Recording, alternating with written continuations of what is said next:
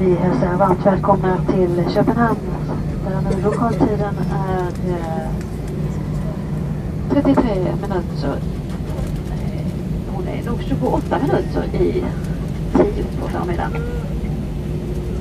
Av säkerhetsskäl så får vi be dig sitta kvar med säkerhetsbältet fastspänt. Behålla storsrygg och bord uppfällda. Mittgång och eh, nödutgångar ska vara fria från allt handbart till dess vi har parkerat och skylten med säkerhetsbältet är släckt. Och det kan nu vara att eh, tända för mobiltelefoner igen. Det kommer att bli försiktig